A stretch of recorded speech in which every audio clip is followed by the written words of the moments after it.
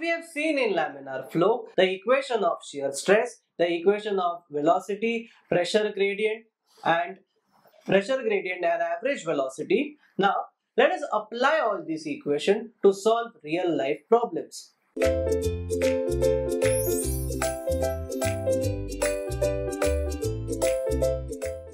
A lubricating oil of viscosity 1 poise and specific gravity 0.9 is pumped through a 30 mm diameter pipe.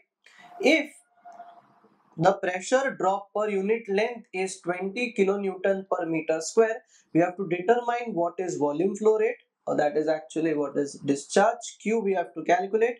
The shear stress at the pipe walls tau at small r equals to small r equals to diameter by 2 so that is d by 2 and Reynolds number of the flow that is Re. So all these three values we have to calculate. So before solving any problem on laminar flow, we know that now we are doing problems on laminar flow but sometimes there will be uh, problems which are mixed cannot differentiate into laminar flow or turbulent flow. For that the important part is we first calculate the Reynolds number and the things associated with that.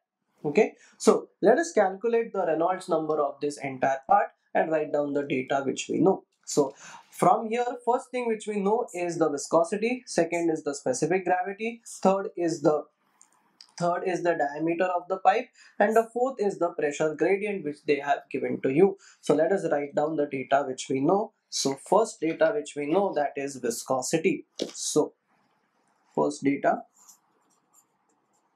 that is mu is equals to how much that is 1 poise that is equals to 0.1 pascal seconds. Hmm. The second thing which we know that is specific gravity. Specific gravity is Sg that is 0.9 then the density will be equals to 9000 kg per meter cube. We know that density of a fluid upon density of water is what is specific gravity. Density of water is we assume that is 1000 we multiply by 9.81 we get density of the oil. Next part is the diameter which we know that is equals to 30 mm that is 30 into 10 to power minus 3 meters and the next data which we know that is pressure gradient that is dou p by dou x is equals to 20 kilonewton per meter square now here what we have to calculate first first we are going to calculate we have to find First, we will calculate whether the flow is a laminar flow or turbulent flow. That will be given by Reynolds number. Now, formula of Reynolds number is rho V d by mu or rho u bar u bar d by mu v v can be written as u bar. We will write down this separately rho u bar d by mu.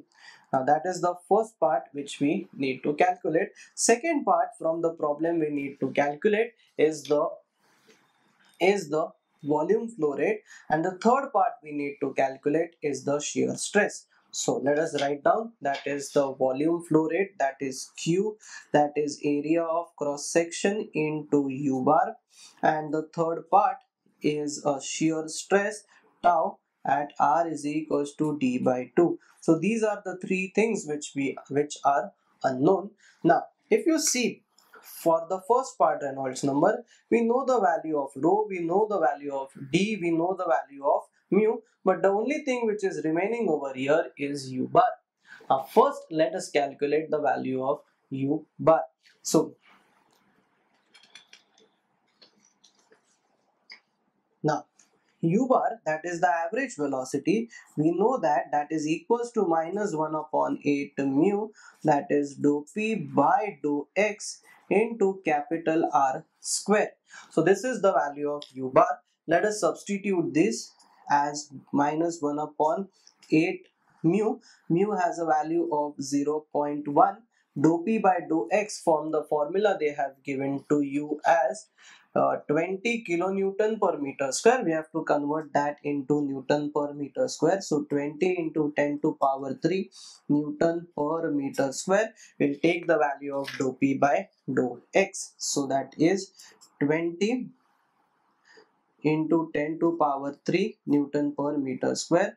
And the radius is 15 to the 10 to power minus 3 the whole square. That is given to you in terms of diameter. If diameter is 30 mm and the radius is equals to 15 mm and that will be equals to 15 into 10 to power minus 3 meters. So now we'll substitute this part. Now we have substituted and plugged in all the values.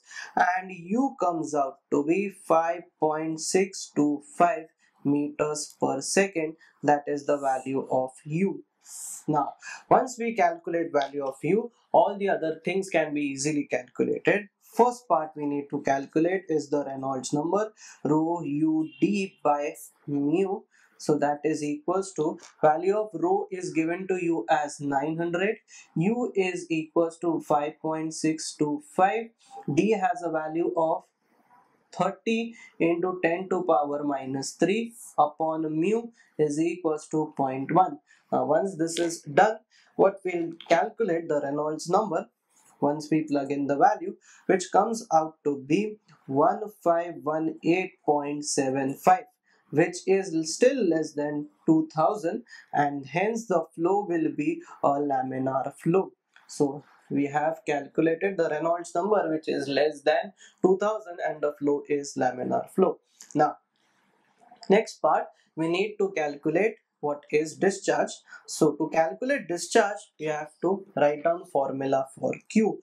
Now Q will be equals to area of cross section into average velocity that is pi by 4 d square into average velocity so this is pi by 4 into d so this is 30 into 10 to power minus 3 square into u bar that is 5.625 so after calculating this so the flow rate comes out to be 3.98 into 10 to power minus 3 meter cube per second. So this is the entire flow rate. This can be converted into meter cube per minute or kg per minute by multiplying density and dividing by 60 seconds. Then next we have to calculate what is next uh, let us see what we have to calculate. Next we have to calculate what is tau at r is equals to d by 2. Now tau at r is equals to d by 2 for that we need the formula for shear stress. Now shear stress tau is given as minus of dou p by dou x into minus of dou p by dou x into that is r by 2 so this is a dou p by dou x is according to our formula that is 20 into 10 to power 3 into r over here is 15 into 10 to power minus 3 divided by 2. So the tau shear stress comes out to be 150 Newton per millimeter square at R is equals to at R is equals to capital R. Note that in this problem we have not considered the negative sign over here as well as while calculating while calculating the value of value of velocity.